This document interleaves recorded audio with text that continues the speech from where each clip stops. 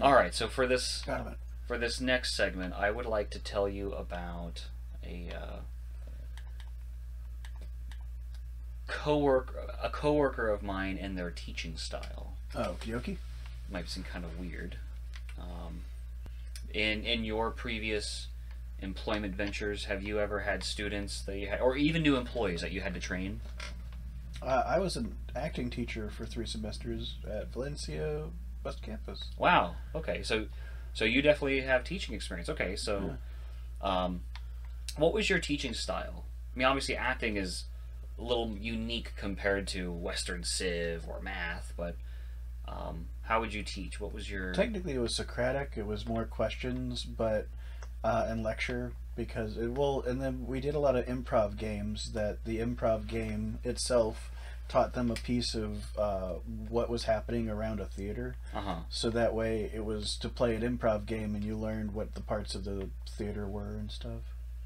It was. It was That actually does sound kind of fun. yeah, it was a lot of fun. Instead of instead of here, read this book. Uh, I had a hundred and eight percent retention rate because uh, people joined the class after it started. Wow. I. Uh, it's funny when you die, you just kind of pop back into existence. I don't. I don't think there's a penalty. That's good. At least I don't know of a penalty. If there is Well- a penalty, please tell us in the comments. The existence is Dance! the penalty. What if that's the penalty? Is existence? I could go the distance. So we're- Your your too many of your students were passing, so they assumed that you were just giving out all A's.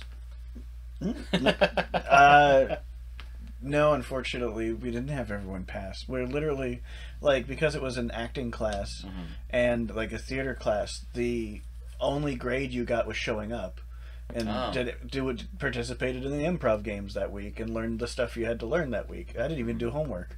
Uh, the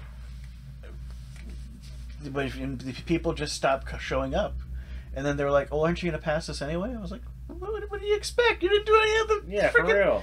But you were just doing blah blah blah blah blah." That's what the class was. You got to show up and actually participate. So what I'm hearing at home is if you want an easy A, come take Trotsky's class, but you have to actually participate. But he won't give you homework. If he does, he really doesn't like you. That's what That's I'm for hearing. sure. That's for sure. If I gave you homework, I did not like you. So in in the field that I work, it is routine for us to have students. It's routine for us to have people who have graduated uh, with the degree required to work in my field and doing like postgraduate education and training, if that makes sense.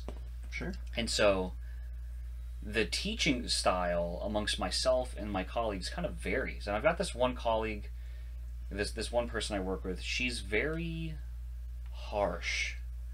Like not unprofessional, but harsh. And I kind of and I, I've had I've had learning experiences like that myself where you just kind of have to do it and try your best and learn and usually that person really is trying to make you know it, it's really in your best interest their intent at least uh, but it's it can be really tough whereas my approach is more a lot of what if scenarios where i'll yes i expect you to know what you need to know for whatever topic we're, we're discussing um, and as long as you know the topic and you understand what you need you know the basics we're going to go into more details using real life examples uh, or a lot of what if scenarios and then relate them back to the, the principles upon which you're supposed to know.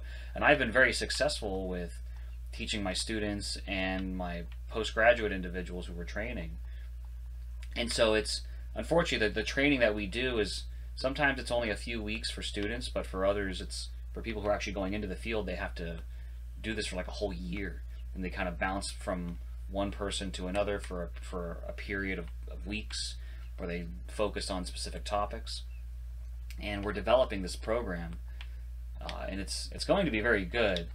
But so I'm I'm not I'm not trying to approach this person and say, hey, you're you're being a bit too tough, uh, because that's it's her decision on how to do that, and there's a place for that style of teaching. Um, but I'm I wonder at what point is it doing more harm than good? Because some of the feedback from students already is such that well, I don't feel I wasn't really. It's not that I wasn't challenged; it's that I felt like there was no way to actually succeed with this person. But at the same time, they did have to go study and they did learn what they needed to learn. So, which it's, Things it's- don't have to suck. No, this this That's person true. needs to stop this teaching method immediately. that, that things don't have to suck. I'm so tired of people like, well, no, it was important to be tough and stern on them. No, there are some people that need some stern things in their life and a sterner hand, like kids that are freaking acting up.